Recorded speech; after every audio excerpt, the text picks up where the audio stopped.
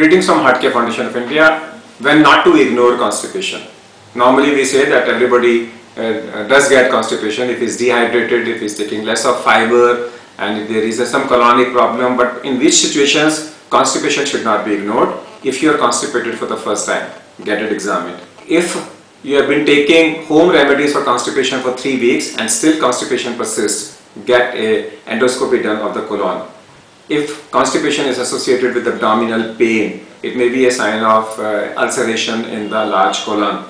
If the constipation is associated with blood in the stool, it may be a sign of colitis or if associated unexplained weight loss to rule out malignancy.